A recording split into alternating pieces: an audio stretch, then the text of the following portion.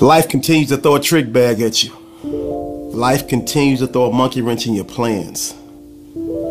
Life is breaking you. Life is battering you. And you're at your breaking point. And you just want to scream. Enough's enough.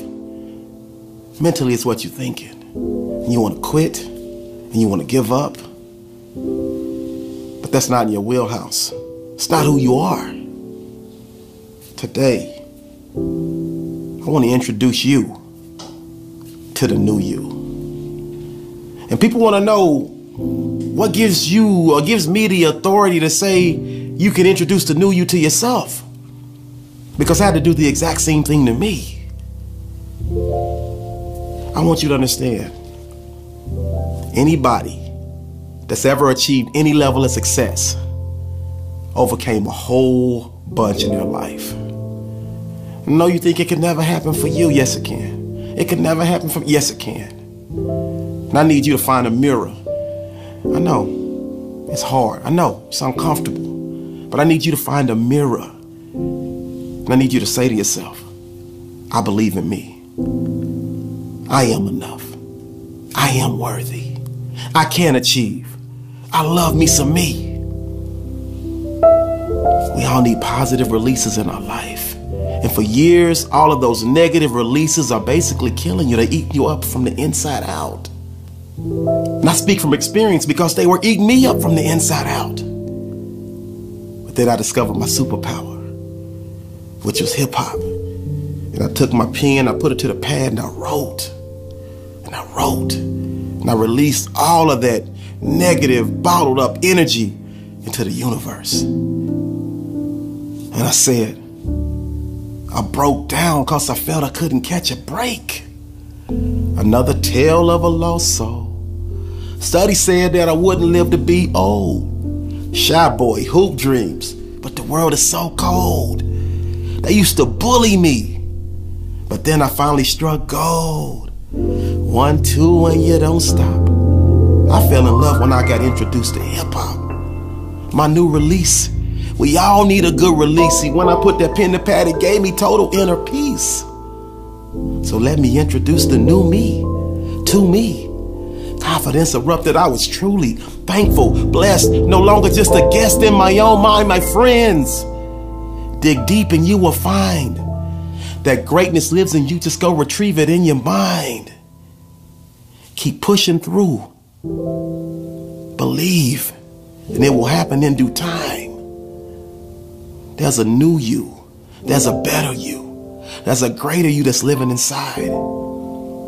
You just got to believe it in your heart of hearts. I know. I was 25 years old and I had an epiphany. I woke up, I prayed, I prayed, and my change came. But When I woke up and I realized all the error of my ways, I was in this deep, deep hole. Sort of like the hole that you're in right now that you feel like you can't climb out of. I'll give you three tips on how to climb up out of that hole. The first one is one step at a time.